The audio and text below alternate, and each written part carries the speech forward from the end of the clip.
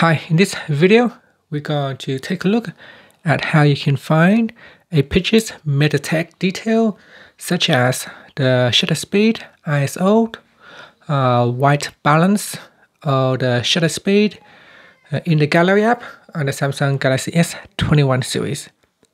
Now first tap on the home key to go back to your home screen and on your home screen tap on gallery or in the app screen tap on gallery. In the gallery app you want to uh, select a photo either from pictures or in albums. So here we're going to touch and hold onto one of the photos.